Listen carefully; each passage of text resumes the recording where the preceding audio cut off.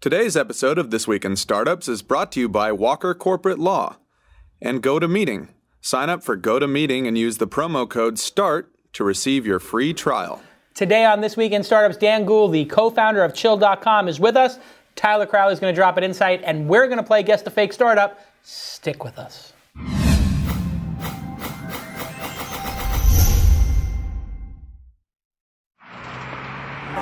That's what it's all about, man. They said money is the root of all evil. What? Funny how it feeds my people. Yeah. We ain't gonna live like equals until we get the money, spend the money, and defeat you. Yeah. Money is the root of all evil. What? Funny how it feeds my people. Yeah. We ain't gonna live like equals until we get the money, spend the money, and defeat you. Hello, everybody. Welcome to another episode of This Week in Startups. I am your host, Jason Calacanis. I'm a serial entrepreneur. I have gotten my ass kicked. I have kicked ass. I have raised money. I've lost money. I've made money. You name it, I've done it when it comes to startup companies. Uh, and through all that, one thing I've learned is that you miss 100% of shots that you do not take. Today on the program, I've got one of my favorite entrepreneurs. His name is Dan Gould, and he is a serial entrepreneur. What does that mean? Guy keeps swinging the bat. And I love guys like that. That's my kind of blue collar, hardworking entrepreneur. He's not a one hit wonder. He's a guy who's, you know, hit the ball. He's got hitting with the hit with the ball. Definitely. Definitely. He's got hit in the balls. he got hit in the balls. Absolutely. That, that's sort of every day in the startup world. That's every day in the startup world. And that's what we do here on This Week in Startups. We break down what it means to build a great company from nothing from nothing, just with the sheer force of will. If you watch this program every week, week in and week out, I will teach you how to be a winner, how to be a samurai, how to pick yourself up off the ground after you've gotten your ass kicked and then kick some effing ass. That's what it's about, people, and that's what we do here on This Week in Startups. For the love of God, Tyler, help me out. What was in that sandwich you just ate? I have no idea.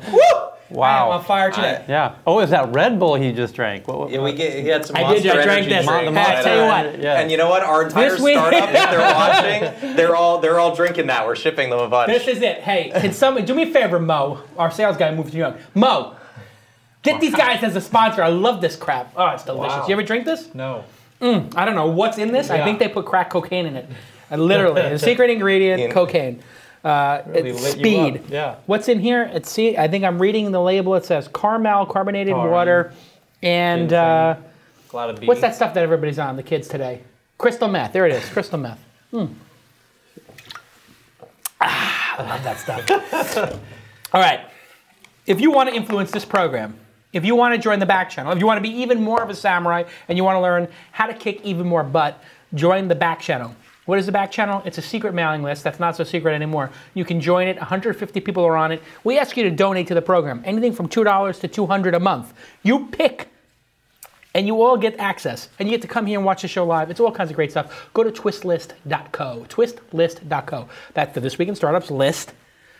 And .co, because they were a sponsor on the program. We like to support them, so we went with .co. Twistlist.co. Go check that out, and then you will get access to the secret email list that Tyler's on and I'm on, and we talk about the show, and people help each other with their startups. It's been fantastic. It's really a great experience.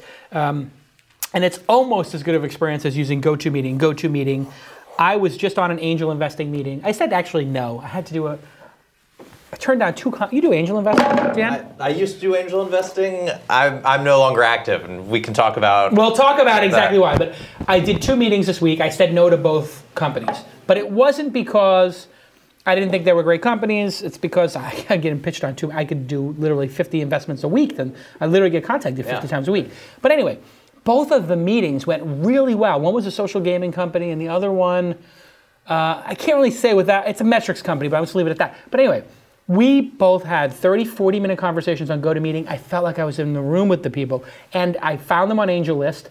Um, or I should say, they contacted me on AngelList. I By said, the way, I'm an angel investor in AngelList, so that's "You're an investor in AngelList? first angel investor in AngelList. There, really? Yeah. How much did you put in? Uh, Ten? I think 10 or 15. It was small, but Can I can I buy half of your shares at a 50% on whatever you paid? Uh, wait, at 50% of what I paid. No, no, or- 150%. I'll give you 50% left. Uh, I don't even know what I have. I'll, I'll, I'll, I like what they're doing. They're doing a great job. Uh, but I don't have we'll any shares. Can. I get half the shares that you have? And I'll give you. I'll pay you double. Whatever your valuation you paid, I'll double it, and I'll take half your shares off your hands. I don't even know what valuation I have. We'll, we'll talk offline. Uh, anyway, go to meeting, go to meeting. It is the way to have a professional meeting. And when you get that go to meeting email that you're going to be in the meeting, you click it, you feel like, oh God, it's just going to work. Not like when you're using these other products that are out there, free products. They're really kind of ghetto, the free products. They don't work all the time. You, you, I, I'm, I'm not going to like slander any companies and say that they don't work, but I can tell you half the time when I use these other products that are free, I don't get connected, or the sound's not working, or uh, somebody's missing for the meeting, and somebody you don't understand what I'm talking about. Go to meetings great. The It's guys so solid. behind it, they you know they were doing all sorts of different things, and they just learned. They were talking to customers. I was uh, you know Klaus Schauser and those folks. They Yeah. were, were no longer involved with it, but they they're They just, built it. They were solid. They They they really cared about how to build a simple product that just worked, and that was their differentiating That's thing. the legacy, isn't it? Yeah. The legacy of GoToMeeting. Meetings that actually work. And I'm telling you, when you use the HD faces, you feel like you're in the same room with people. The HD quality is, it's, I'm, I'm shocked by how good it is. It is unbelievable. And you can share your desktop, and you can give other people control of your desktop, and it works. And, and, and iPhone, iPad, Android. I mean, what do I have to do, people? It's white listed partnerships. I only will talk about products I actually use, and I use GoToMeeting, and I love GoToMeeting. I literally use it, I would say, at least five times a week, which is pretty much daily, except for the weekends when I'm trying to spend time with my family. I don't use GoToMeeting. I meet with them in person. But let me tell you something. When my daughter goes to college or something like that, or you know, when she becomes the president of China, the first elected president of China, whatever she's going to wind up doing with her life, I mean, it's up to her what she does.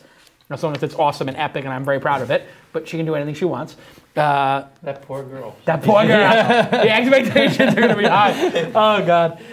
Anyway, I love you, GoToMeeting. I love you guys for supporting the program. And if you love this program, just say thank you at GoToMeeting on your Twitter account. You go to meet at GoToMeeting. They love when they see that. The, the partners and the advertisers love, love, love, love when you thank them. And it, the person I'm talking to right now, it only takes one or two of you to do it, and then they're like, "Oh yeah, everybody thanked us."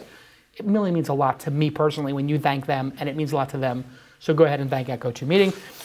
Ah, on the program today, Dan Gould is a serial entrepreneur. I've known him for, gosh, a long time. Uh, we both sold our previous companies about the same time. He sold his to um, News Corporation. It was called Newroo, and it was an RSS collaboration tool that had tremendous buzz. And then you sold it, and I don't think anybody ever saw it, and it sort of disappeared. Uh, you then uh, spent a couple years there went into hiding and came out with this new thing, Namesake. You did some angel investing. You got a Tesla Roadster in orange. Uh, shortly after I got mine, no, it was a little bit after. Yeah. And I- uh, then you do Namesake, which was a really interesting sort of community. And then lo and behold, chill.com. Great domain name, great product. Everybody's been talking about it. Um, welcome to the program. Thank you. I'm About excited. time you've been here. Yeah, I, I tend to keep a pretty low profile. I, I hide out. I'm not nearly as good at all this media side as you are, but it's fun to be on. But you do uh, love building product. Oh, absolutely. You're a product guy. You're a product product guy's product guy. I, I would say almost. So I've worked for uh, ten years with my co-founder Brian, Yeah. and I'm more of a, a pure techies techie Yeah. who loves product, Right. and he's more of a product guy's product guy. Hmm. So So you make sure the tech works, you make sure the UX works, and it's a pretty good collaboration. Let's talk about your most recent chill.com. People on the program will know chill because I've been saying, hey, go to the chill room. Essentially, let's pull it up on the screen here. I, I, I guess I could pull it up on my screen and then we'll see it. Um, here's what a chill room looks like. You're seeing me in the chill room, in the chill room. That isn't that going to create like an, one of those effects? Really? Is it doing it or not? I think so. Well, we've got picture in a picture, but oh, there it goes. it's so funny to watch that happen. I, I, I never get uh, tired of that. So anyway, um, chill is you wrap around a video stream and you and you build presence around video. Is that Well, so it it's a What is video sharing experience, and video means tons of different things nowadays. So video uh, started out as you know, okay, some YouTube clips, but really there are clips, there's sports, there's music, there's live events, there's short form content, web shows, movies now online. So there's a bit of everything out there. And we've said we want to have ways to share it, but really create an experience around it. Hmm. And a lot of times what happens is you go on and you see things where, you know, oh, I'm the only one here. I'm watching some funny video someone sent me, but it's not an experience where you feel like you're with other people. And it's a solitary experience. yeah, and what we found is just this idea of being with other people, of being there at the same time, communicating with them, seeing faces, you know, as avatars in this case, really changes how you experience it. It just feels magically different, even though it's, you know, still the same video. And what was the inspiration for the product? So we had this site uh, namesake up and going, Right. And may want to talk a little bit about it later. But Yeah. what happened was it was about real-time communication. People would go into rooms and they would have conversations. And while they'd have conversations with each other, people got super engaged in them. Uh, but they'd always be posting media. So we had little bits of adding media in here. Oh, you can post a video in the stream. And what happened very quickly was the media dominated it. So I did a, a report of what were the top uh, conversations that happened on Namesake, and every single one of them was something around video. Yeah, yeah. Tyler was on there. Yeah, Tyler was the time, yeah. definitely So it was hanging like out all the time. Your favorite hip hop videos from the '80s or whatever. Yeah. There was yeah. but we had built Namesake Yeah, for for a totally different thing. Yeah. It was built as a professional communication right, site. and it evolved into sharing videos. So for- yeah. we said, well, let's just do it right, right? Rather than build uh, this, you know, keep shoehorning media into there. Let's say, what would the great experience around video be? What would the great experience around media be? And let's build. Well, then you also that. built kind of the real time. It went from being um, message, message, message into like real time chat. It got very Yeah. fast, and it felt very chatty with the Was, it, videos was the concept behind Namesake that would be a better Twitter? Like a threaded and higher end Twitter with threaded messages and that kind of thing? So when we first started out, we had the idea of we wanted to build a better business, so a better professional communications tool. Ah. Because to say no one communicates with each other on LinkedIn, right? It's a, people upload their a resume. resume database. Yeah, it's a resume database. So we said, look, in a professional context, I mean, look at this show, right? Yeah. You've got people excited talking about startups, Right. But no one does that on LinkedIn, right? LinkedIn's No. a great site, but not for that. Right. So we had originally said, let's build somewhere that people can express things, where they can communicate and do what they care about. So we tried lots of things, and the But thing it didn't work. that part didn't work, right? Why? Uh, I think a lot of things. One of which is you, when there's an established thing in the world like a LinkedIn, you do have to be ten times better. Then Not twice as good, 10 oh, times. easy, twice as good doesn't doesn't cut it for Why? for. Well, a big site has huge huge mind share, so everyone knows about it. They think about it. Big network effects. So you know, I want to go where I know everyone else is. Hmm. So uh, when when I go onto a site and I see a few people who care about what I'm interested in, but I want to know when I go onto a professional site that Jason's there, that Tyler's there, that everyone is there. So the network effect is critical. And you also said the brand recognition, I guess the habit of going to Google, the Habit. habit of going to LinkedIn. Yeah. But MySpace was a habit for a long time. Um, and Facebook was, Was. in fact, 10 times better. yeah, um, Five times better? something along those lines. But It's- definitely more than twice as good, yeah. in your estimation.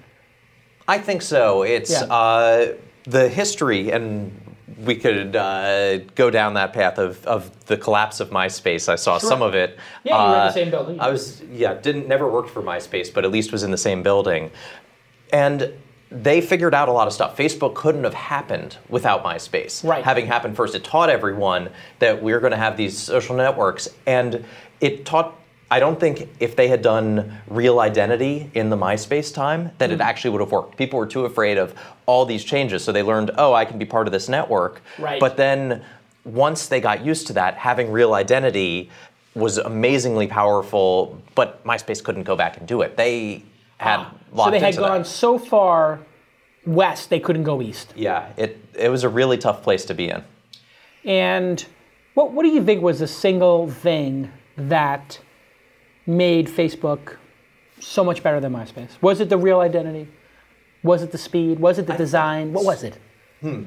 So with Facebook, I think at first it's they started with small networks. So they started by launching on college campuses. So it was people you knew, and I know you in real life, and I feel like you know, hey, I have a relationship with Jason. You know, I've I've hang out with Tyler, right? And if it's the people I know, I can spend forever talking with and about the people I know. MySpace had a much denser social graph.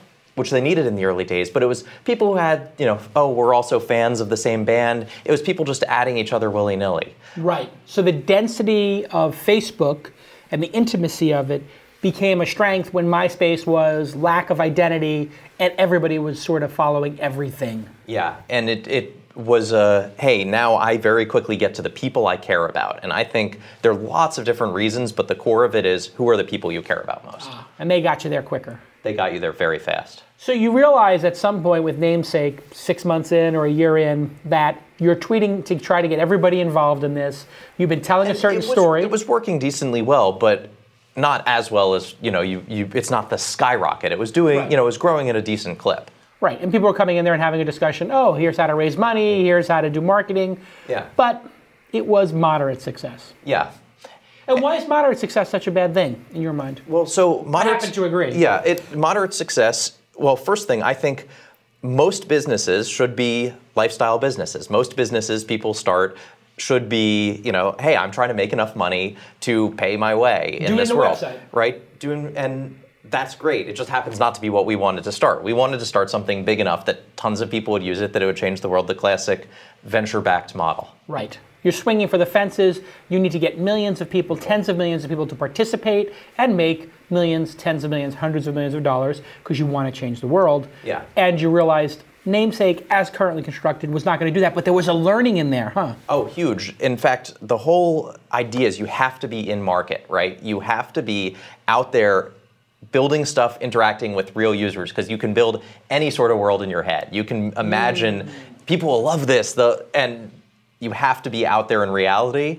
Wait, well, the next step is you simulate by asking people how they're going to behave, and it's just not the same because what they say they'll have do to be is in the not game. what they'll do. You, if yeah, you You're have to either in creating or you're waiting.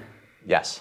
And when you get in the game, good things happen, doesn't it? good th- you know good things happen bad things happen and the whole key is every time a good thing happens you hold on to it you you you so you can build good things whereas the bad things you just have to keep getting up so more bad things may happen than good things but you can keep accumulating the good things till you get something real And the good thing that you found was that people love sharing media talking about it and uh, And there was no place to do that, was there? there was nowhere to do it together right why not? I mean, shouldn't? Why is YouTube or or Twitter or Facebook not the right place to do this? What, what's fundamentally wrong with those three platforms? So they're all great platforms, but they're But what all makes them bad for But they're they're media? all asynchronous platforms, right? So they're Say that in English.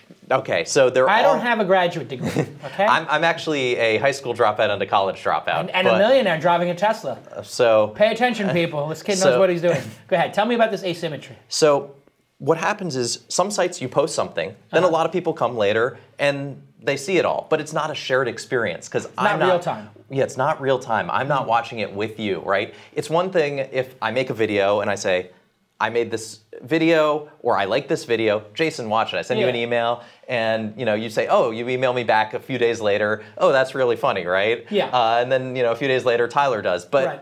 We might talk about it later, but it's not like we did something together that we Mm. really There's something deep psychological. It's the same reason why movie theaters still do as well as they do, even though everyone can watch at home if they wanted to. And think about Right. the movie theater versus being at home, right? So you know, you're this there- goes back there are to peop- ancient Greece. I mean, this goes back as old as time. Like people Yeah, just I want to watch things together. together. Yeah.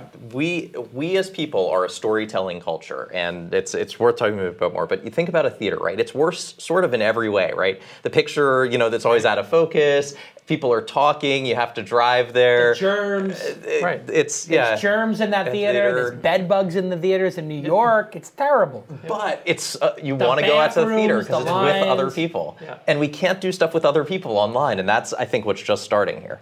Ah, so, so it's it's really that real time nature of it. Watching it together is why Facebook, Twitter are really not the solution here. yeah, they're great sites, but not for this. Yeah. And and this really shines here. I'm, I'm pulling up Snoop Dogg's chill room, and this is actually Snoop Dogg's chill room. You did a deal with Vevo. We did, also, Snoop has come on here, and sometimes he'll randomly show up and actually guest VJ uh, on Chill. And so you have this VJ thing, similar to Turntable FM. Was that sort of an inspiration here? Yeah, so we were building, you know, we had all this real time infrastructure and we saw a turntable, and they really figured out a lot of pieces of interacting in real time Yeah. really well. What we're trying to do is somewhat different. That typically with a turntables about music. So what happens is people uh, go, a few people want to DJ, and then uh, a lot of people throw it in the background all day. So someone else is Yeah. DJing for me. And they're trying to create sort of the ultimate DJing experience there to make music discovery great. Right. We're trying to create interactive experiences, which leads us in different directions, but they did figure out a lot of key pieces. Right. Like and I this think we're piece of the carousel is, Yeah. I guess, classic turntables. People queued up to play it. Um, and how do you get a deal with Snoop Dogg? So that's a, that's so first thing uh, I'll say I work with an amazing team and an amazing co-founder, and that was all actually my co-founder Brian, who has Brian's a bulldog, huh? yeah he's He had just gets stuff done. he does How did he get stuff Dogg? And so he's had rela- a relationship for years with uh, with Snoop's folks, and while I don't know all the particulars, as I remember it, uh, he helped them out a few years ago, just as a, a favor of you know, oh, you're thinking about how you do all the social media stuff. Yeah. He talked with them, gave them a bunch of advice, helped them out, and then Ah. a few years later. We were doing this, and you know, he called him up and said, "Hey, can we show you what we're up to?" And you know, obviously, if someone helps you out, they'll take the meeting, they'll look, they'll only actually do it if you're have something that provides real value. You have to Right. you, you have to bring the juice, but Yeah. If So you do give, they'll take give, the meeting. Uh, Snoop Dogg equity in the company? Is that the deal? Uh, so I, I don't want like to go into yes. our ca- no, I don't want to go into our cap table, but uh, I do not think I don't think Snoop has equity in the company. That- Right. But I mean, that is a, we are seeing this trend of um, celebrities of uh, either doing angel investing like Justin Timberlake, uh, Leonardo DiCaprio, and of course Ashton Kutcher was a pioneer Yeah. in that space. N- No longer saying, pay me, Mm-hmm. but saying, I will invest. This is sort sort of turned a corner. Oh, it, it's huge because in LA, what we've had, well, to say, we're based in Los Angeles, which is a really interesting place to be. And What's it like running a startup here? So, well, I was based in Silicon Valley. That's where we did Newroo. Uh, we were based in San Francisco, and great place, amazing, amazing technologists. But you notice how a lot of the really interesting startups, right, were all as certainly the categories were all started outside of Silicon Valley, hmm. right? So, you know, Flickr was started in Vancouver, right? That started, you know, modern photo sharing. Facebook was started in Boston, right? And MySpace LA. Uh, MySpace Before in them. LA. Uh, a lot of I had done some work on social software, you know, in, on the East Coast. Foursquare.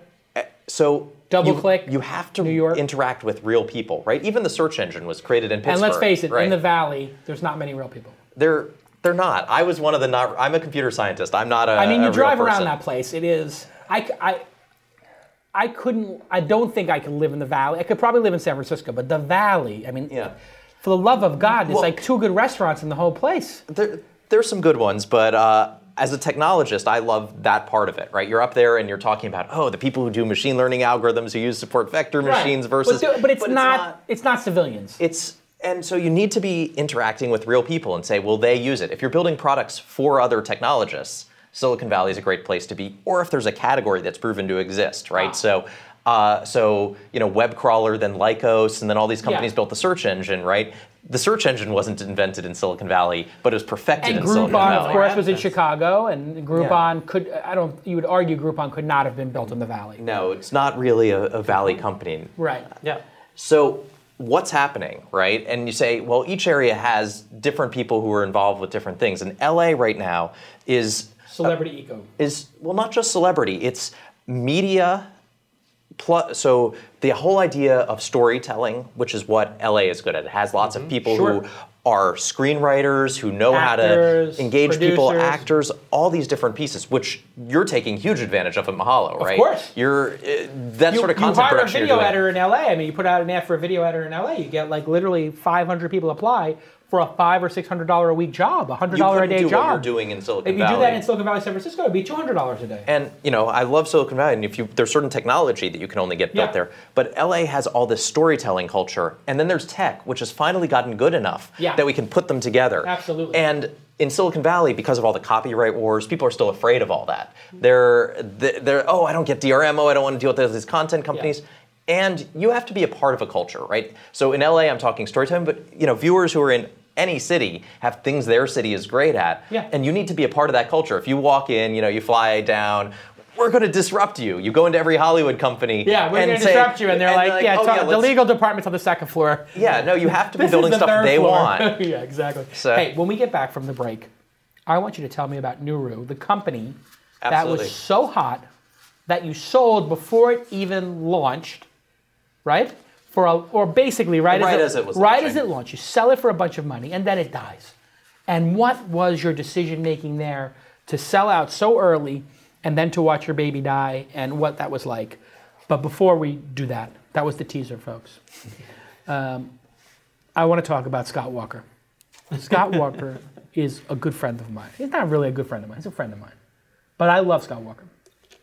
And he has been supportive of everything I've done as an entrepreneur for years. He comes to every event. He, I see him at every event. He, he supports them. He sponsors it. Whatever he can do, He does sponsor. he sponsors stuff. He will, uh, if I have a, a startup that's looking for help, they're raising money, first time entrepreneur, he's the first guy to say, hey, come have a cup of coffee with me, come have a cup of coffee. You know why? He hated working at those big firms so much that he started his own little firm that's now growing pretty nicely, I will say. And it's called Scott Walker Corporate Law. And he gives a flat rate for each thing you do as an entrepreneur. So if you need to get copyrights, trademarks, you need to buy a domain, escrow, angel round, first round, employment, he'll just say, hey, listen, I'll do that for X amount. And I'll have one of my people who's been you know, doing startup law for 10 or 20 years, not least like junior associates who are figuring it out. He'll do it on a flat rate for controlling costs, which when you're an entrepreneur, you need to control. Because I, have you ever gotten surprised by a legal bill? Uh, everyone has. I mean, it's almost it's, it's like every month you open the bill and it's like you, you ever have that moment where you get the PDF where you get Yeah. the bill and you're just like, what is it going to be this month? Six hundred dollars or six thousand? Is it going to be six thousand or sixty thousand? And of course, you're you're going to pay your legal bills because that's one of the most important things. You want everything to be airtight. you have started how many companies at this point? Three, four major ones. Uh, yeah, something like that. Yeah. For- You've raised how many rounds of funding? Three, four, yeah, five. thereabouts. You ha- you've done a couple of investments. You have to do this right. You can't Uh, That's skimp on well, well- legal. Well, here's the interesting thing. You at the end of this whole story, you go to sell your company, and there's uh, this. Big due legal work. diligence. So Yeah. they want every legal document Oh, you've yes. ever signed, and, and, they better be perfect. perfect, or else the whole thing can so, get screwed up. So you could be building, if you don't do it right, you could be building this whole company for years, Ugh. then try and sell it, and Yes. you discover that you don't it- own any of when I let me tell you something. you know this. I've been through it, and I I had in one situation with a company, I had six months of nightmares, and in another one, I had six days, and the deal's closed. It can be that easy, depending on how good your lawyer is, and Scott Walker is the best. And you can call Scott at 310-288-6667. 310-288-6667. 310-288-6667. Tyler, what's that phone number? 310. You want me to do it by memory? Yeah. You're allowed to look at the screen. Look at, look at. Oh, I can look at the screen. 310 288 6667. Now look at me. What's Yeah. that number? 310 Yes. 866 No. No. 310 Yeah. 288 288 6667. Got it. Let's do it again. All right. 310 286 288. Tyler, you're ruining the commercial. God, Tyler, you're supposed to add value. Did you get any sleep last night? No. Let me do it one more time for you. 310 288 6667. Thank you, Scott Walker, for supporting the program. Thank you, Scott Water- Walker, for supporting startups most of all. Call the guy. As I've told you guys, I don't even need to take ads. I did the show for a year or so without any ads. Then we're like, somebody, people start calling, can we put an ad on the show? I said, you know what, I, I really don't feel comfortable with those ads because I don't, I don't want to have to read a commercial for something I don't believe in. And then I had this brilliant idea, like, well, why don't I make a list of the people who I would like to read commercials for, and we'll make a white list, white listed advertising. That's the whole This Week In Network. None of our hosts will ever read an ad unless they approve it. They have the power to veto. I will never read an ad for something I don't believe in. I stand behind Scott Walker. What a guy. Just checking off all the things I love about Scott Walker. I always watch what you're up to, Jason, for sort of the future of content and particularly content monetization, right? To say, I'm a tech guy, right? You're a content guy. You get content better than almost anyone. So the. Oh, idea of doing whitelisted advertising, I think is, uh, if, if you're doing it, that tells me something. So Tells you what? it tells me, I, I think that it's going to be big. I think it's. Mm. See that, Tyler? All this time you've been doubting me, Tyler. Listen to Dan. All right, Dan. So, We're like a married couple. Um, Dan. Newroo. yep. Everybody was buzzing in 2003, 2000, what, 2004 maybe. Thereabouts. Five, They're six. about 2004, 2005. Newroo, Newroo changes everything. Robert Scoble's running around. Oh my God, RSS, Dave Winer. Those were fun times. fun times. The, the, God, that, that was a game changer. that was Web 2.0. It was like, hey, the, the web is coming back. Web 1.1 is over. 9/11's behind us. The stock market crash is behind us. Uh, hope springs eternal, and you start a company. Yep. Tell us what was that company? So the company was Newroo, and that was actually uh, when Brian and I first started to work together. Yeah. And we were looking at how do we figure out what's important to you. So people have a limited amount of time, they have a limited amount of attention. How do we find the best, most important stuff? Hmm. And we wanted to do it across everything. So now you look at all these sort of ar- smart agents like Siri and that sort of thing that are figuring out what's important at a particular moment. Right. We were trying to say, how do we do that back then? Right. And right around then was when blogs were coming up. Sure. Obviously, you were at the center of that. Yep. When RSS was a big deal, so we said, let's start there. Let's look at this public content. All And- these RSS feeds. Yeah, all these feeds, scrape sites that didn't have feeds, and try and prioritize stuff. So figure out what's the most important stuff to you, Right. and build customized news sites. So it it was a really fun experience building and thinking about all the technology. How do you figure out what's important to someone? Right. How do you deal with all the aggregation? You and I had some conversations back then because you were Sure. doing Weblogs Inc. Right, and I was like, "Hey, don't steal our content Yeah, you- now. I Uh, you remember pay that well. us or else." And and so you then get an offer from News Corporation, Well, so it, the, let's step back a bit. Yeah. We, you know, we're a bunch of techies who were getting started in this business. former PayPal guys. Uh, no. No, where were you guys out of? Uh, we were out of. Uh, I had dropped out of school. I had worked for some startups. Just a kid. I was just a kid, and uh, I, I we started it in Rhode How Island. How old were you then? Uh, 23, Something. 24 or something. You're 23, 24 years old. Something like that. You got you, and then you're in the eye of the storm. What were you just? You were reading blogs and you saw that RSS was going to be big. You, neither of you seem to. I, I don't know that this is true, but did you guys get on the phone at one point? At one point, I told him I was absolutely going to But destroy. the two of you. Uh, we I'm trying to remember, but he will remember the story I'll, better. I'll remember it. Who, I'll- Yeah. who was on Because it scared who me was more speaking? than it scared you. You I were was on the probably phone. one of a hundred people you had to say stay I, away. I called him and ripped him a new one. So How, tell- why? tell the He story. was pretty friendly Tell- about it. Yeah. So we, uh, I was, uh, you know, computer science researcher actually for years. My, I love just building products, building technologies that people care about. So I had been working for a while for a computer science research group in Rhode Island. Yeah. Uh, had built a bunch of early social software, so a lot of predecessors of the sort of, you know, Friendster, MySpace, you know, so building all sorts of different Hmm. What college were you in in Rhode Island? Uh, Brown. Oh, Brown. Yeah. That's the school I always wanted to go to. I No, dropped out of it, so I've had, I, but it, I loved it. It's great. On the, sh- a ton on the of show, we've tech had a ton of show people, uh, people on the show who went to Brown. Brown is the place. This is why I wanted to go there. Where you don't need to pick a major. You build your own major. Yep, absolutely. I want to send my daughter And- to Brown. Hey, can somebody from Brown call me? My daughter's going to go to college in 16 years. Do you guys need a computer lab or something? Because I'll write the check. Let's go. They go they have some great labs. So uh, my college roommate was Dana Boyd, who uh, Oh, you're kidding. yeah, who Wow, did all the social social stuff. Yeah. Yeah. so she was actually a computer science major. Dana's so brilliant. Yeah, I gotta so- have her on the program. I, I, when she talks, I just, I, I have like a total tech nerd crush on her. I just love her so much when she talks. I'm just like, my God, it's so delightful to talk to somebody who is so much smarter Yeah. than me about this. You know, it's so delightful when you find somebody. disagreeing about everything. So I know, but she's so smart, isn't she? yeah, absolutely. Okay, so you. So we were so you know we left school. We were playing around with a bunch of ideas, saying.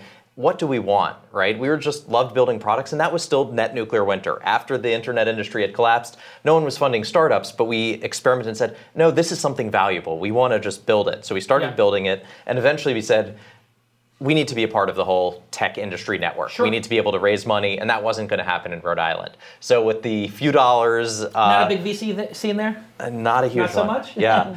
so we took the few dollars we had and we moved out to San Francisco and just sort of bet something good will happen. And we worked hard. We spent a lot of time trying to just meet the people who Right. cared about this sort of thing. So we uh, went to all the meetups. It was, this was Sure. pre-meetup, but all the events of that sort. Yeah. And I met you at a few of the conferences Special and events. groups, yeah. Yeah. And Lobby crashing, whatever you had to do. that's what we did. Lots. Well, the first uh, the day we got to San Francisco, actually, I remember, was when they were having the first Web 2.0 conference. Oh, yes. So this was back when they had this idea that there might be a resurgence Yeah, in the web. it was only like 300 people at that event. What I did was I was that the Mandarin? What was uh, it? yeah, at? that was at, at uh, the, that Japanese hotel. Yeah, yeah. What's it called? It's not- Yeah, it was at Nikko, not the Palace. Yeah, this was was Nikko, in this, the like, first little one. So this little 300 tiny three or four hundred thing. person thing. And I said, this is going to clearly be the coming out of of the new web. So I looked through the list of sponsors because they give all the sponsors tons of passes. Yeah. And I said, who's not in town? So who's not going to use all their passes? And I, Mm. I emailed each of them, and uh,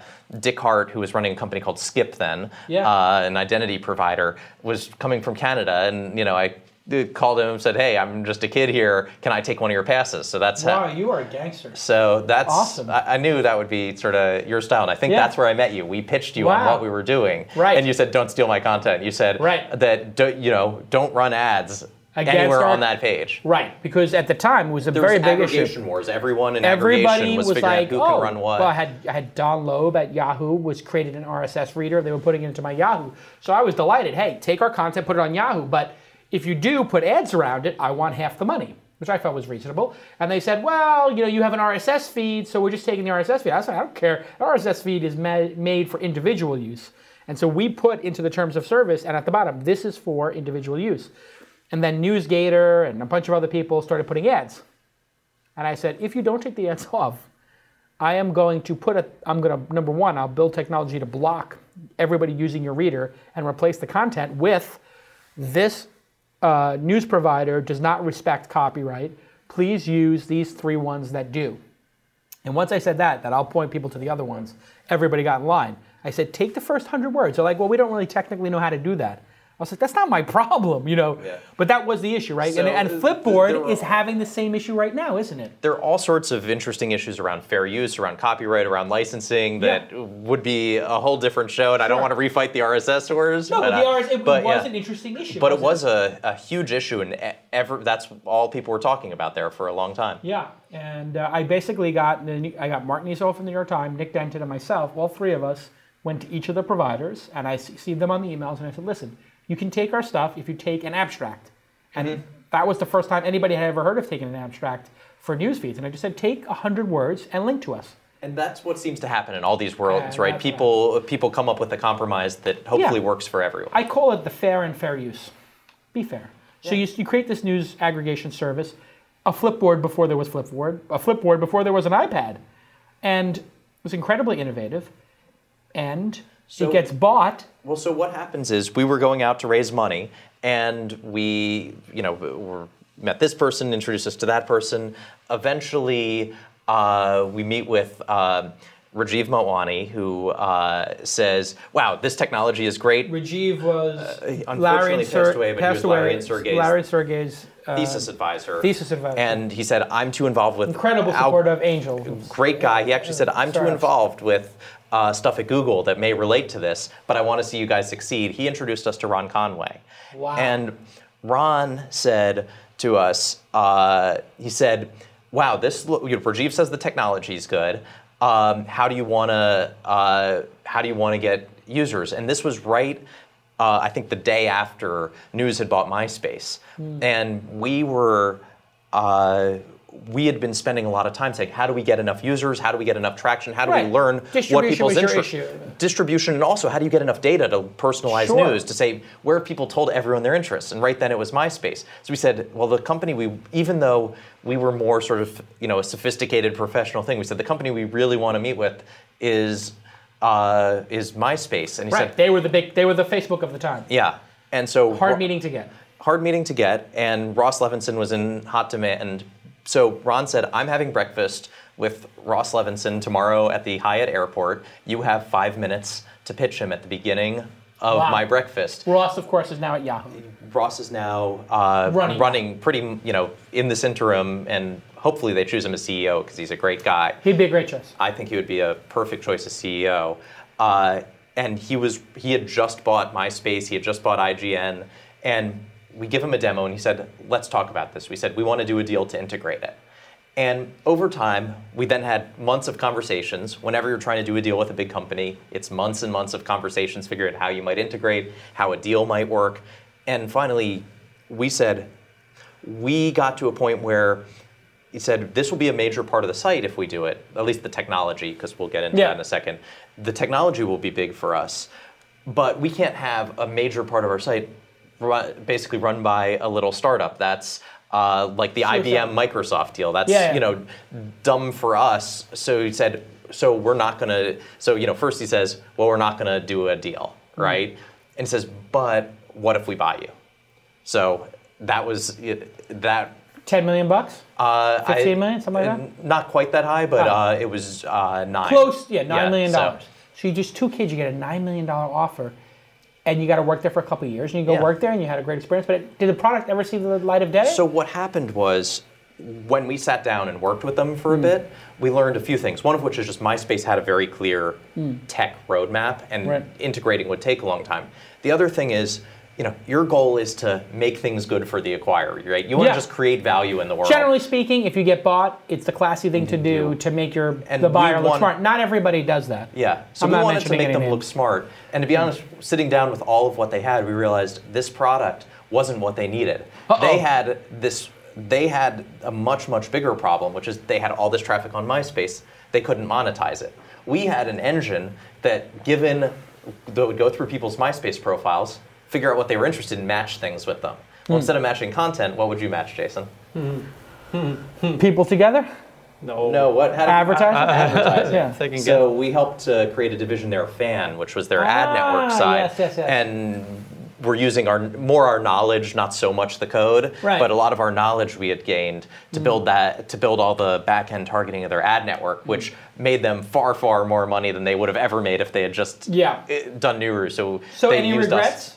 I mean, You know, I think I'm not a big company person. I, I, it's not my nature. I'm glad we did it. I'm glad we learned. I loved a well, lot you never have to work again. Yeah, you and Brian are set for life. So you're.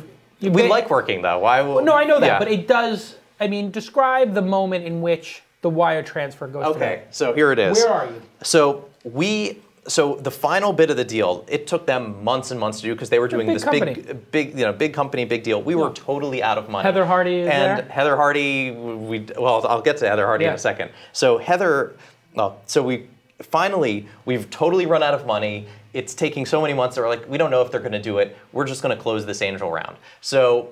It- We said, fine, you know, we're, We we're moving on, yeah. and it would have driven the price to a different point that they couldn't have done it. So we, you know, warned our angels, hey, you know, we were trying to get an acquisition done before we go, but you know, it doesn't look like it's going to happen. So I figured, let's throw a hail mary.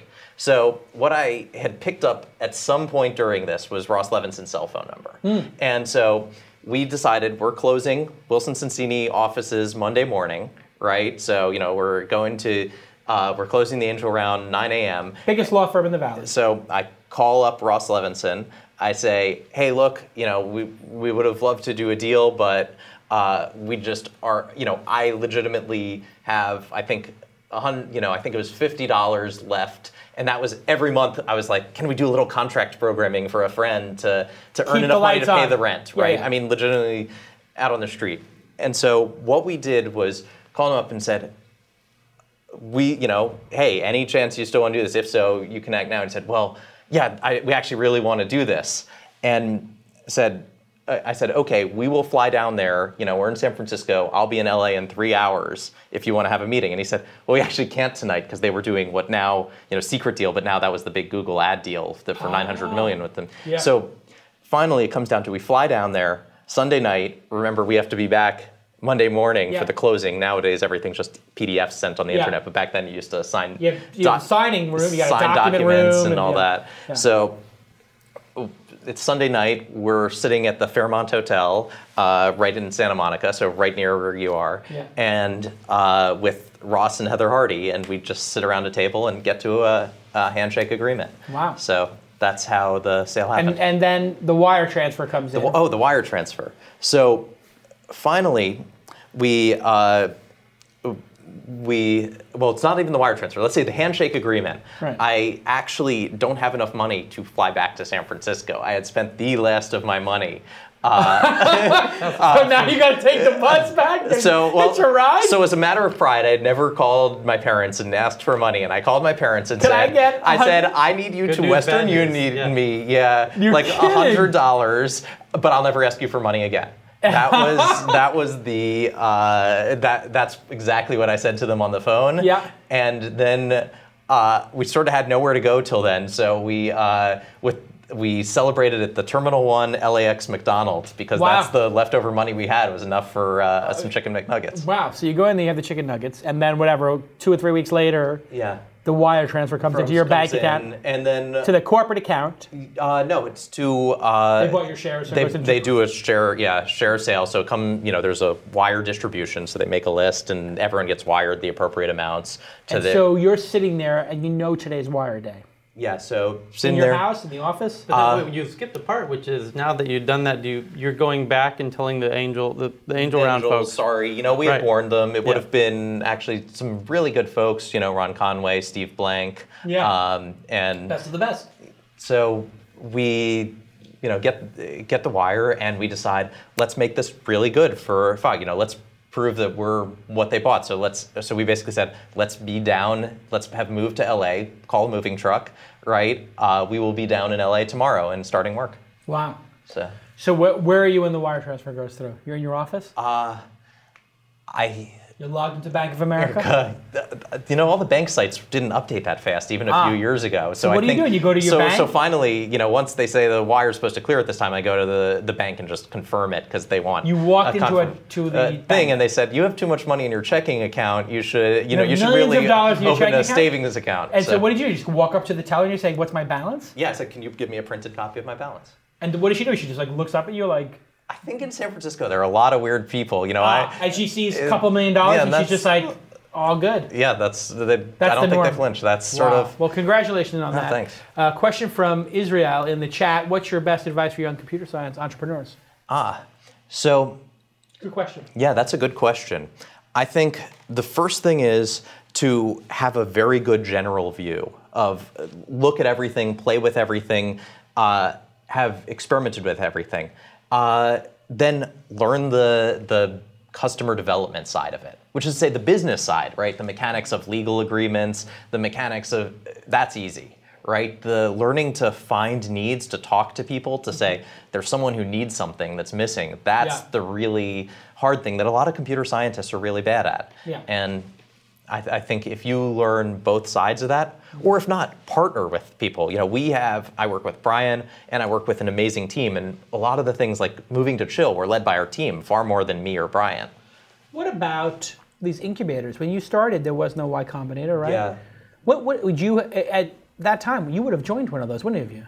Probably so, you know, to say we had to hustle to be connected with that whole world. The fact that they provide that almost as a service, Plug and play. it's automatically. Is that time- good or bad? I don't know. You know, I'm. Uh, w- there's, You're old school? I'm old school in that I went through it, and you know, Everybody almost else should that that made. Not that everyone else should suffer. I think that made us tough enough to be able to go out. Right? it's the VCs, right? Why It do- kind of easy now. You get accepted to one of these, these things. and maybe that helps certain things happen. Right, but then you get a quarter million dollars, a hundred thousand dollars in instant free funding just by being accepted. Is that fair? I don't. There's no A such thing good as fair and unfair in bad? this. It- good or bad for entrepreneurship? Good or bad for startups? Is it going to create too many weak companies who haven't had to struggle to fight? I think there's a degree to which it does. There are also some some diamonds in the rough it finds. Everything is a good and bad. Yeah. I like that we learned how to to Tough just it out. tough it out to fight for a deal To to, get the chicken nuggets, to have to wire transfer money. Yeah. It is a little bit easy at the beginning, but they do get ramped up with so much knowledge. I mean, net net, nobody Yeah. could argue that Net- Y net, Combinator and Techstars are not amazing and awesome. Yeah, But they're it- amazing. So I do believe that it's making it a little too easy for some folks because I have met some entrepreneurs who come out of the programs who they just there's a I don't want to say there's a sense of entitlement, but there is a little bit of well, it should just all go easy for me. Well, you know, I want I want it all to like I want to see every entrepreneur in the world succeed. Any- right? any the most successful guy does, yeah. And you just say it would be great if there were ten times as many startups. So I want to see a model that lets that happen. Right. Right. The my only worry is that the the real world turns out to be a lot harder than I ever anticipated. So it Here's might be good. It might be bad. I see both sides of that one. Here's another question from Doc. Should you take LSD like Tyler and Steve Jobs? No, he didn't ask that. Um, last episode. I, I was watching Dan, watching- I was oh, hanging yeah, out yeah. with Tyler and Dan Martell this Oh, weekend, and then I got an Uh, announcement. question from Doc: What's the best way to get initial funding, like early angel investing? What's the best way to get angel funding in your mind? Hmm. to get to get angel funding, I think it's two things. One of which is nowadays it's so cheap to build a product. Build a product, hmm. and then not just build it and go and show it. Find someone who will say, "I love this." Right? If I can walk ah. in and you know Tyler says, hmm.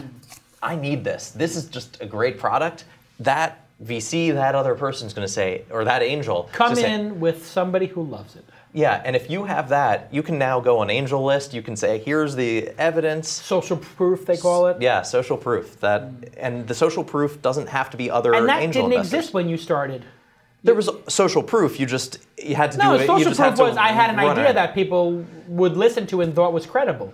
Yeah, I mean, we hi- hit out and wrote code. You know, Right. I, I So knew there was was a lot of my code. Yeah. We had something to show. Now, I w- we didn't have all the money for nice data. You know, back then you had to have uh, server farms and whatnot. So I remember um, carrying my computer to Ron Conway's house. Right, that's how Your tower. Yeah, my tower. Do you, you remember all Right. our like Pentium towers? Right. I no EC2 back then. Yeah, there was no EC2. You know, so you you had to fire up a SQL server in his house. we didn't have the money to get it in a data center, so I wanted to show it. So we, you know, wa- walked across San Francisco. I remember Jesus. walking across San Francisco great, with the computer. what a great guest you've been so far. So. Hey, let's play uh, Guess the Fake Startup. Go ahead, Kieran. Let's hear All this. right, Kieran Callie is here. You guys know how to play the game? We know how to play the game, but let's hear the rules I- one I more know time. how to play the game. I know how to play the game. Obviously, We know Tyler does. Knows how. Dan, he you know wins how- it every time. You know how to play the game? So I'm going to read you three descriptions, one of mm-hmm. which is fake, and you guys have to decide which one is not the real startup. Guess the fake startup. We got it. Go ahead. Okay. Okay, the first one is theblock.com. Mm-hmm. A new, better way to Don't buy. look at the, Hey, close the chat room because I can see Tyler looking at it. Okay, I'm closing Close this Can't the computer. see. chat room. Thank you. Anybody, anybody caught Tyler, cheating is Tyler loves to cheat. disqualified. Cheated the last three weeks in a row. I- okay, go ahead. All right, so theblock.com, a new, better way to buy and sell in online auctions. Theblock.com lets you search on a worldwide or strictly local basis for items to bid on. If you win, you can cho- choose to have them shipped to you or use our premium service to have them delivered in person same day.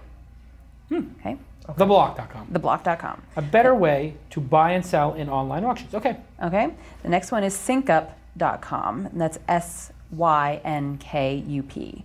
Synkup is a free like personal scheduling assistant that accesses your email, calendar, and contacts to coordinate meetings and events, then push reminders to you about your schedule. Okay, Okay. that's the second one, SynkUp. Third one is efuneral.com. eFuneral brings the death care market into the 21st century by allowing families to initiate and manage funeral planning online. families can get quotes, read user reviews, and get planning advice for free from the comfort and privacy of home. Okay. All right. So we have theblock.com, a new and better way, uh, a new better way to buy and sell online auctions. We have SynkUp, S-Y-N-K-U-P dot com. SynkUp is free personal scheduling assistant that accesses your email calendar and contacts, coordinate meetings and events, then pushes reminders to you. And we have eFuneral, mm. bringing death care market to the 21st century by allowing families to initiate and manage funeral planning online. Hmm. And uh, everybody's got to write. down- Got to write. You got to write it down, Tyler. I'm writing down which one. I know the answer to this. Okay. Okay, Tyler, you write down the answer for yours. Don't look at his answer. And theblock.com like Cosmo Plus, Craigslist, and SynkUp is like a bad version of Siri. Then there's eFuneral, which is like a SaaS-based way to bury your loved ones. It's pretty morbid and it's got a really Web 1.0 name. eFuneral.com, SynkUp.com, and theblock.com. Okay, you are our guest. You go first. Which is the fake startup day? So I'm gonna say I think the funeral one is real because that that you certainly. Say the funeral's real. I'm going with the funeral's real. Okay. Why? Uh, if you've ever been around a funeral, it's last you know last minute. It's painful. That's Yeah. a lot of money is spent. People are in high stress. That I, I see a real need for. Yeah. Right. it's funny to think about, but it is practical, is what you're saying. Yeah. I, I So- you know yeah. So Sadly, we all have to deal with this at some point, right? so I'm going to go with that as a real one. Okay, So then the so now you're down is- to- down down to two. So the block and sync. yeah, the block. I didn't quite understand the pitch. I'll say it sounded like auctions, but written. So I, I was a little confused by that one. Uh-huh. Uh, maybe there's a real business, but who knows? I've seen lots of calendar syncing and lots of schedule syncing, Yep. so I'm going to say the block is the fake. You're saying what do you say, Tyler? Let's see. Let's see. I want the written evidence because I don't want him influencing you. I had the block is fake. All right. I had the block as fake as well, which you can see right uh, And I was going to say this there. is by What does far it say right there? The, the block. yeah. Okay. So we all say the block. Take me through your thinking. Why a funeral? No, I'm not going through my thinking because then you No, you, no, wa- no, you no, try no, to use my That's- I'll kick you off the show if you don't. you have to bring it. That's it. Doc is. I'll dock his pay. can I be the new Tyler? Absolutely. You brought it this week. You could absolutely be the new Tyler. Tyler, you're, you could be replaced, and Karen's also waiting in the wings. Let, us hear your thinking. I will do my thinking first. Okay. E-funeral is um, it's got to be real, um, and I think it's I think that's the red herring. That's the that's the head fake to try to get you to think it's fake, but it's not. I think Synk Up is so terrible as a name and so confounding that it must be true. And the block is such a clean, organized, well thought out domain name, and the business is a little bit convoluted, so it feels fake to me because it's it's a value proposition that feels a little bit forced. Like it's not quite enough, but it's something. So like getting it delivered same day and um, this search on a worldwide or strictly local basis for items to bid on, like that's like a really goofy way to describe the internet. You know, like yeah. like you, you just search for things. I mean, is it a worldwide or is it global? I mean, who cares? You know, like when people you start using words like global and all that kind of stuff, it's like something's fishy in my mind. The global is the word that made me think it's fake. What was your thinking, Tyler? Um, the block as a domain name um, is probably not available to somebody who has that bad of a description. That's okay. Very good. And now, but eFuneral. Why eFuneral? is- E-funeral, kind of clever name. I feel like I've been pitched on eFuneral. I feel like I. Well, you know, like uh, Randy Komisar's I've books, he always been- has the the funeral business in them. I don't know if you've seen. No. Uh, really? I think it's in Monk and the Riddle, which was Ah. great book by Randy. Yeah. I mean, if it's uh, part of me thinks she may have. im- I think I'm going to give Carolyn some credit here. I actually think e-funeral might be the fake one, and she picked. Oh, so now you're no, I you're hedging. No, no, you're no. hedging now. No, but You want to play for money? No, no. We all pick the same thing. We can't play for money. And but I- I'm curious to see if she has her game has gotten to that point because I think she's pivoted her technique in accordance. Hmm. So with now you're getting into these. Carolyn's technique. Yes. All right. Yeah. All right. Let's hear it. And the fake startup is the block. We all got Boom. it. Carolyn. Okay. Did Carolyn do this or was it Sam? Carolyn wrote them. Carolyn wrote that, huh? Carolyn. Wow. Carolyn says, "Damn it!" Twelve exclamation points. Wow. Uh, okay, very good. Uh, and now we have a chart of the week. Is there a chart of the week or something we're doing? I have not seen a chart. Chart of the week for November 8th. Let's. I don't even. If you don't idea have one, behind- I'll just show chill for a few more. Exactly. So the, tell you uh, more about how awesome The, it is. the way chart of the week works is we don't know what's going to be shown, and we get shown something, we react to it. So we're looking at AOL US Access subscribers in millions at the end of Q3. There are still 3 million or so people, it looks like, who are using AOL dial up. And I sold my company to them in, I think, 2005 when there were 20 million. And I remember, wow, it went down by five, it went by 25%, and that was miserable because 5 million people a month times $20 is $100 million a month. That's a billion dollars they lost between 05 and 06. And then between 06 and 07, it also went down a billion dollars a year.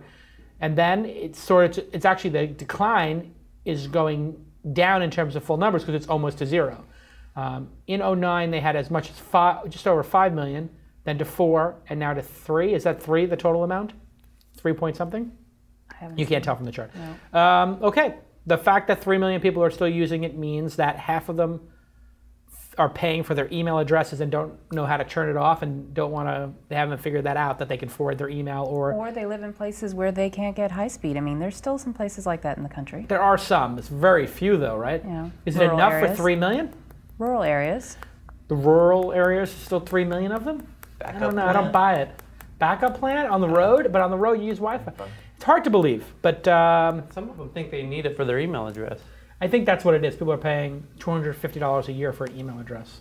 And that's a lot of money when you, you multiply that out. That's I meant Uh, over five years, $1,200. Over 10 years, it's $2,500. yeah. Well, I was talking the total, three million times that 250. Yeah, I mean, people don't realize what a juggernaut AOL was. It peaked out at 35 million, I believe, and it was $25 a month back then, and that means they were making a billion a month. Yeah. And that's still a lot of cash coming in that lets them do. Uh, All kinds of Moviefone acquisition, ICQ acquisition, all these pieces that they subsequently wound up selling off. They just they were throwing off tons of money. Bought Weblogs Inc., bought Huffington Post with all that money. So what would what would you do if you were uh, running AOL? What what would you be buying? Well, I wouldn't. You know, see, this is the thing. I people who can't build buy. Mm-hmm. I'm a builder. I wouldn't be buying. I would be building. When, when you were at AOL, what were you? Were you sitting there like, let's build this, let's build this? Yes. Yes. I mean, I took mm-hmm. Net, they gave me Netscape and I made it into a better version of Digg that was more curated. And you know what? It was going like they had that same chart from 10 million people down to five. Then we redid it and it flattened out. And I was like, okay, well now we're not losing anybody. Now we can build on this. And all these Republican, it was a Republican version of Digg. All these Republicans and Middle Americans who had Netscape and had Netscape dial accounts, because there were dial-up accounts for Netscape back then.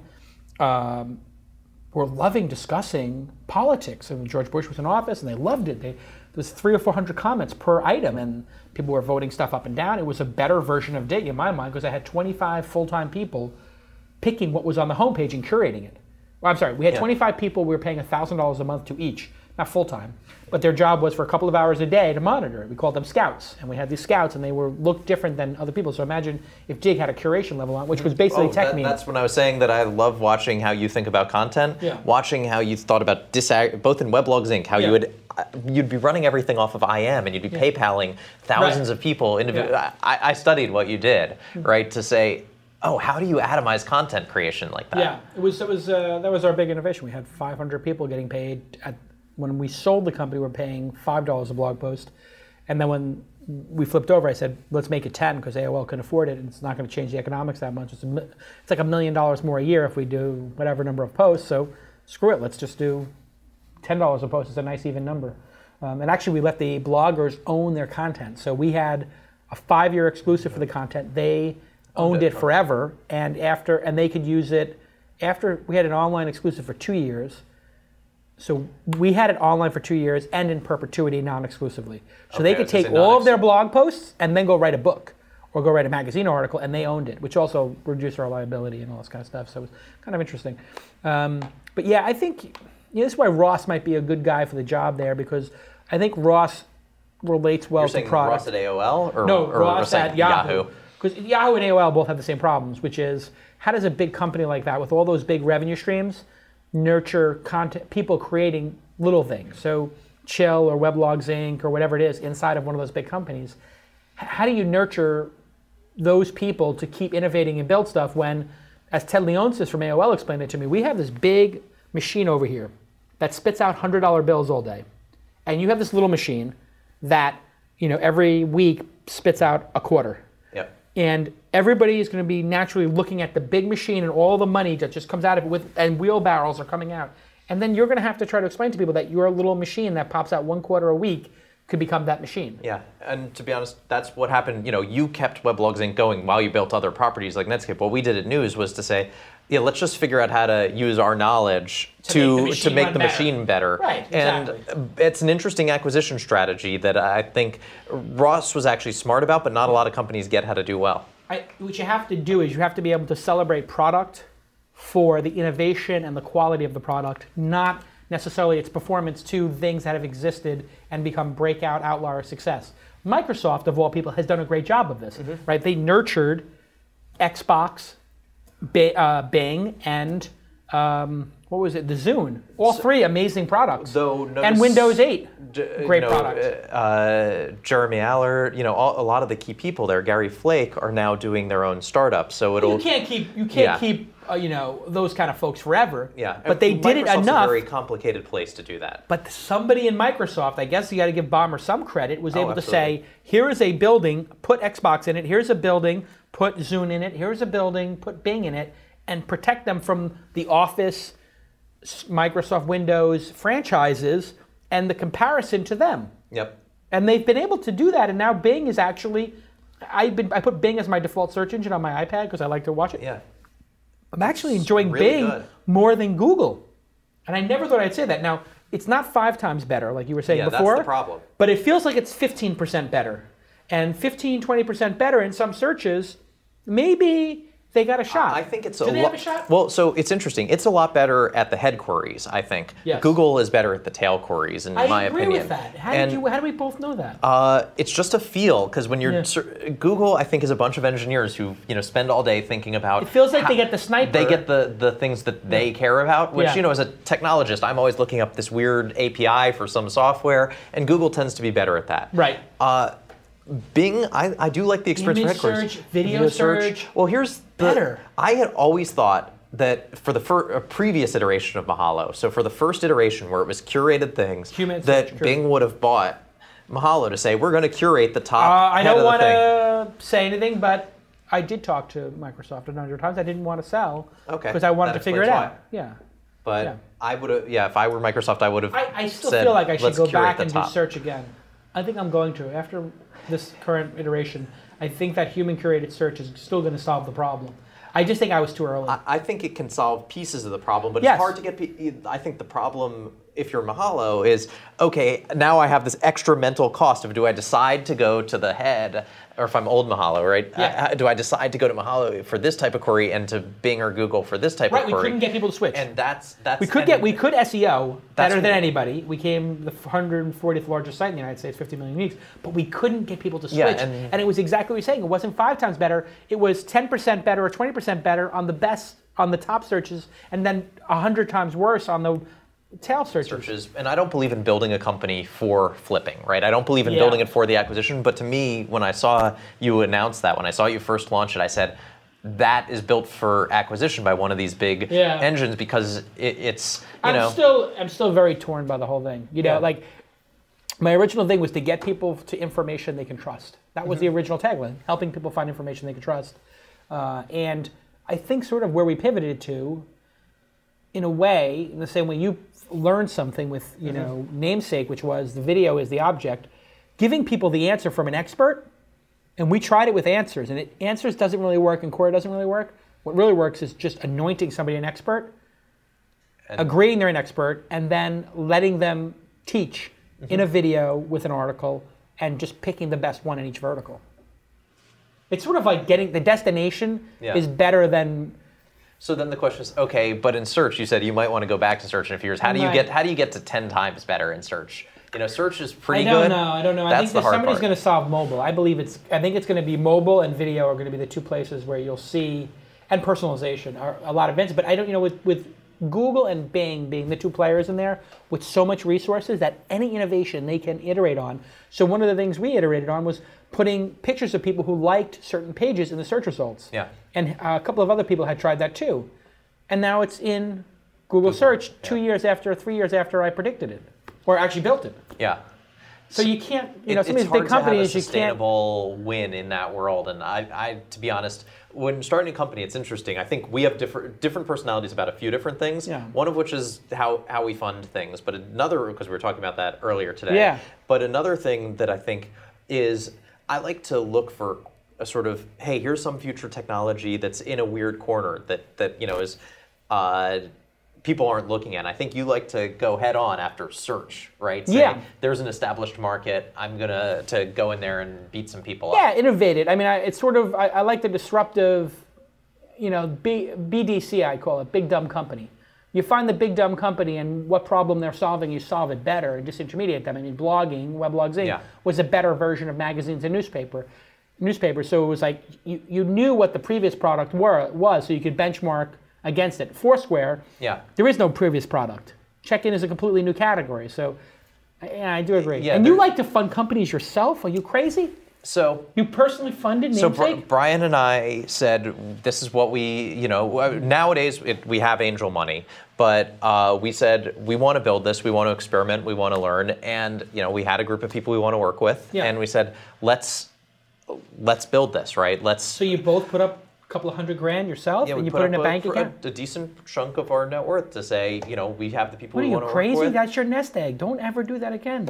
That's why You know- angel investors exist to take that risk, not you. I, you know, I'd rather own own my company fully. I'd rather control my destiny for that first little bit. And I believe in grow slow. You know, Right. build the product. Then once you have something eh, nice, then you you get the outside investors. And but, uh, I know that's not a problem. you have such a great network of people who would Ron Conway or Marc Andreessen or whoever would back you and just say, "Here's half a million dollars. Go experiment on your idea. You've earned that.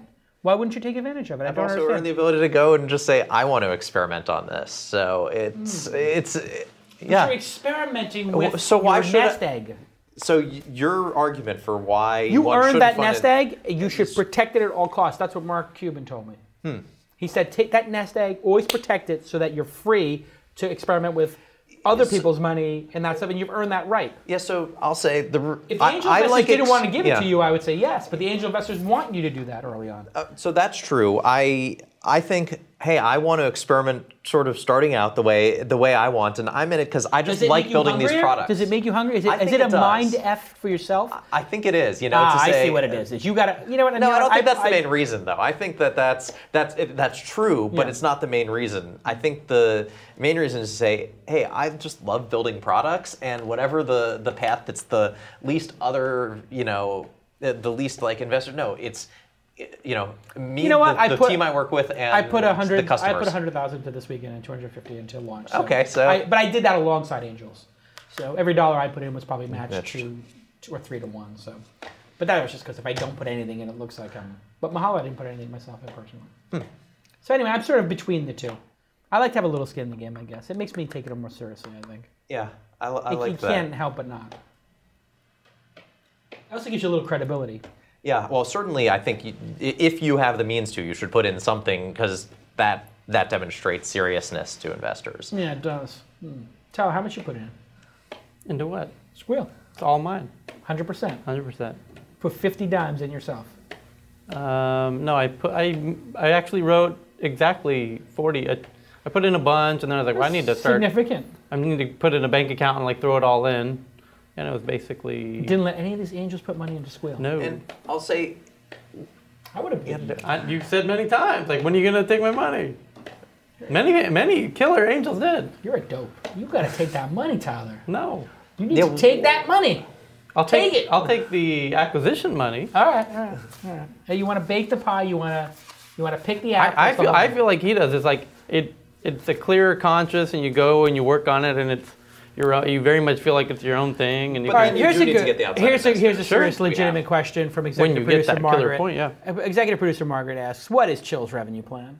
so first thing, I don't want to reveal too much about the the future. Do you have a plan right now, or is it just build and let's see what happens?" So we've talked a lot about it, and there are a few clear things that will make sense that I don't get in. But right now, we're really focused on user experience. Just Mm-hmm. saying, we want to make Chill the place to go to interact around video, the place to go around interacting around media, and, and what our sense is is you know we've been in the monetization industry. Yeah. If you have a passionate audience around that sort of thing, the monetization is is Right. uh, and you have it right here. Look, I, I you guys built a, a little banner here, Here. for us that says Mailchimp, Carbonite, Hiscox. Go to meeting. We got to update that with uh, Scott Walker. we did this one because we love you, but yeah, Right. other you- people I- might. the be- idea would be, I guess, if I want to customize my room, I pay ninety nine dollars a month software as a service or something.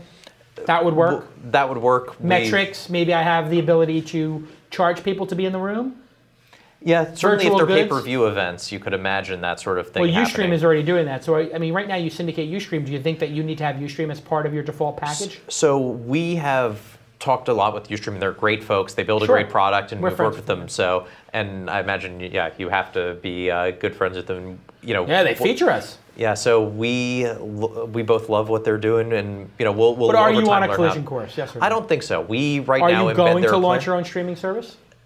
I'll never say never, but uh, it, at least you know we we just talk to customers and build the next thing, and it's certainly not on the you know things customers are asking us for today. They're not asking you for that. They feel like UStream and Justin and all these other things Today, but embed are a- fun. as we evolve, they may you know what Well, why all we would you do is take the talk to them. bandwidth cost and all that stuff? I mean, people should come with whatever they want. If there's a reason customers say, if customers come to us and say you can provide a better experience, we'll build it. That's sort of our Huh, our yeah. theory of. But But you guys but- are directly competitive with Ustream in that I am now, as a Ustream customer, more inclined to tweet the chill room than I am the Ustream room. No, and I told this to Brad. I said to Brad, you know, I am find myself tweeting the chill room, not the Ustream room, because the Ustream room is too goddamn noisy and cluttered. All the collateral around it is so messy, and chill is so clean and better UI. Why can't Ustream look cleaner like it used to? Ustream is just such a mess right now. I mean, is that your advantage? Is that yours is cleaner? Well, so for them, you know, we've talked to them. We get along very well because they they have embeds, right? Their whole idea is they want UStream to be ubiquitous, Right. including uh, including on. Chill, right? Because they if they control that flash, right? They uh, they get to run ads. Mm-hmm. They get to do their monetization. That gives them a broader sphere. So really, having something like Chill is a good thing for UStream. Yeah. Um, I, as I told you during uh, our lunch today before the show, I think that you should let people tip whoever is in there. Like a tipping gifting economy would be incredible. If I could log in. my tip for being on the show? Yeah, right. It's like two hundred dollars worth of beer. Uh, if you curse, you get to put ten dollars in. Feel free. Um, anyway, what do you think of that idea of like putting some sort of commerce level in there where I could give a tip to whoever is the DJ at the moment? Yeah, so the first time I'd heard it, you, you were the first one to suggest it, and I, I liked the Had idea you thought of immediately. that before? Uh, we talk about everything at the Right, office. so it must the- have come up at Yeah, some the point. key of being an entrepreneur is really prioritizing, listening, and saying, Yeah. you know, you, you in essence end up having every idea. Look, and this person it's doc says, I so want tips matter." for good presenters. Yeah, and I think that How many people in the that would chat room would uh, would get if they if they had the ability to buy ten dollars at a time, you know, tip money, you know, chill coins, would would buy chill coins and give them? Would anybody in there do that? I wonder. Would you do that? You could use Facebook credits as an API. Yeah, they could. uh, Well, I don't know if you could. Uh, somebody says mayor says they would. I wouldn't mind to tip. Yeah, yes, yes. I said would do it. people Yeah, we're would for better content. Because you could in the you No. Could, well, here's the LX, thing. huh? You could incorporate that. Magazine. That's good. You want the honest responses when you Yeah. go and ask about a company to your Virtual friends. chill never just says, coins oh, yeah, I yeah, pay money." freelance CTO says it's dumb. They said they pay money for Dan's shirt. Yeah, what's going on with that shirt? How much I- is that? I always- What is that? Is that a Franco Cabot or whatever that? Uh, what is that? That's Etro. Uh, I don't even know what Etro is. I just wear bright color stuff. I don't know if the world. Got, and we both have. Now let's get to the Tesla. Okay, You buy yourself a Tesla. You get on the waiting list. You're number 200 or something, something I don't remember exactly where. but you're at. very low. Yeah. You put down a full deposit. And then I find out that that this guy has one. this guy being me. Yes. all of a sudden. And not only do I have one, I have the 16th one, and I order the color orange.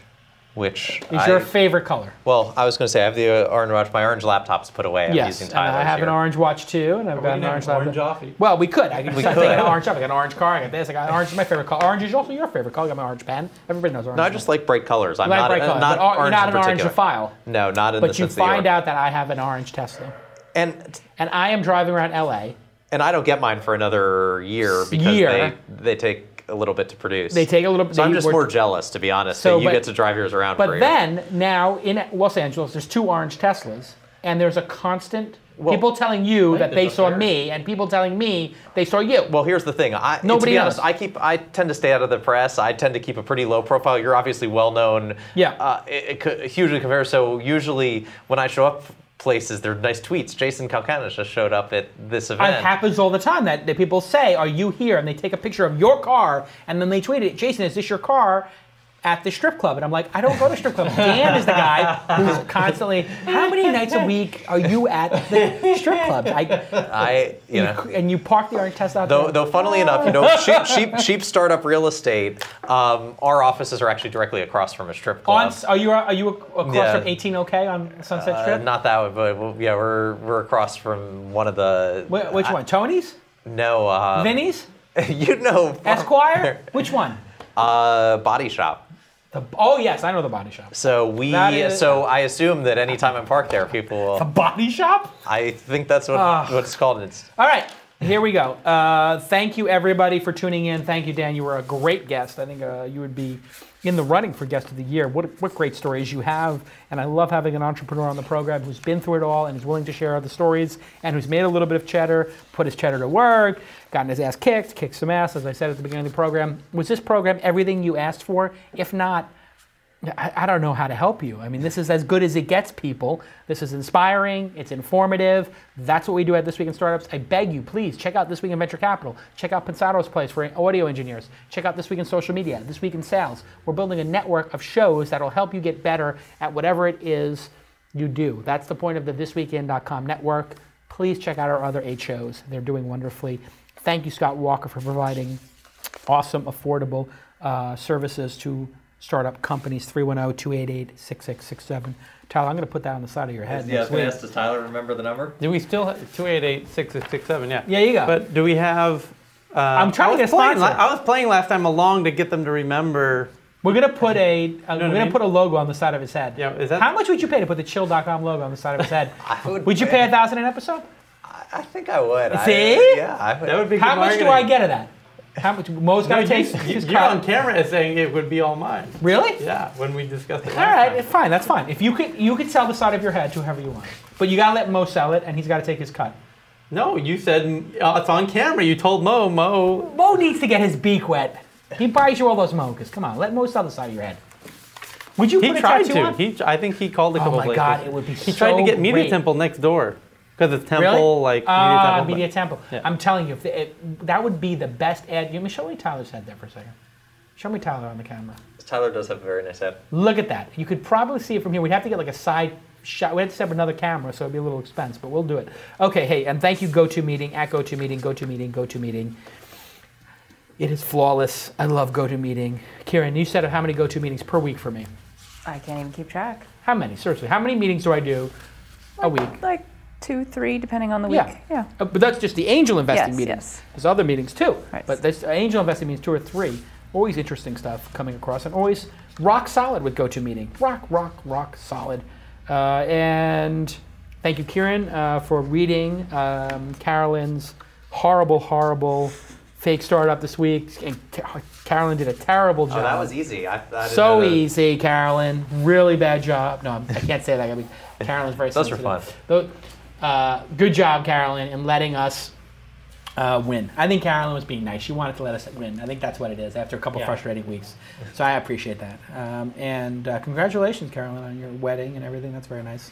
Um, and uh, hey, everybody, rate the show in the chat room uh, on a scale of 1 to 10, 10 being epic, amazing, 9 being great, 8 being good, 7 being okay, 6 being average, whatever, less than average.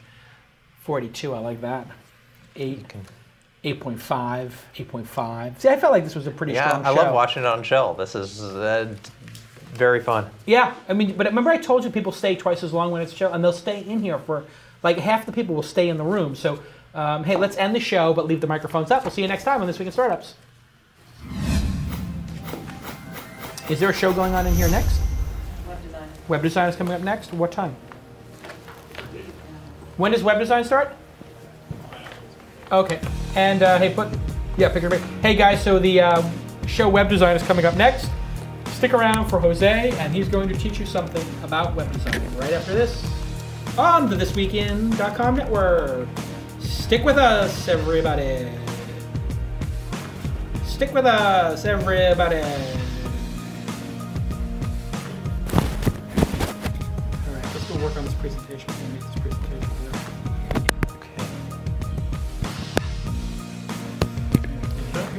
Thank you. That was fun. Yep, rocked it, buddy. Uh, We just, uh,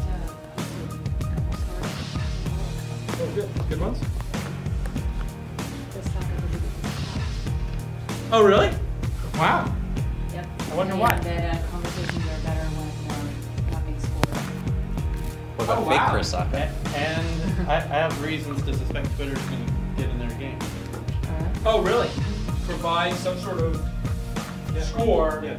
to marketers. Although that's counter to what Chris is saying. Right. Yeah. Right. Okay, guys. Not not not Twitter actually. Twitter isn't going to get into it, but uh, formerly known as Twitter is going to get it. Like, you know how a lot of the people have left Twitter, the, the, Oh, the original people tech team Ah, and all. oh, you're saying the obvious. Very, Yeah. funeral was my ringer. I thought for sure that you guys would be like, that is no, that sounds like maybe she made it up. The name wasn't great, but No, but it sounds so much like the coolest, like exactly what Jason said, like someone from Web 1.0 and they still, and, but no, e funeral was very legitimate business. Yeah, I was gonna say.